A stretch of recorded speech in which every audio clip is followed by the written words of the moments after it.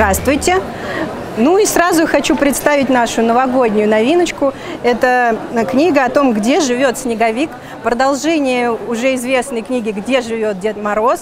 Э, и здесь художник э, и автор рассказал историю о снеговике, о том, как он путешествует по миру и как он возвращается каждый год к своим друзьям.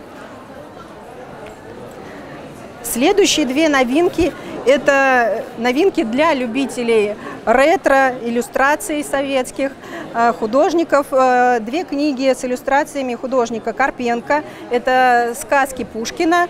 Здесь пять э, сказок Александра Сергеевича. И «Конек-горбунок». А, обе книги – это реставрированные, восстановленные иллюстрации.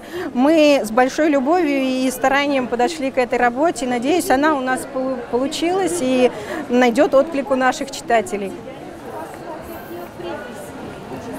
Следующая новиночка – это книга уже всеми любимого Квентина Гребена «Синбад-мореход».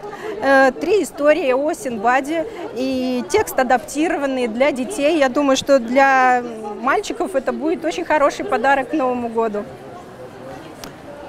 Ну и еще одна новинка – это книги в серии «Вот так история». Эту серию мы с большой любовью пополняли весь год.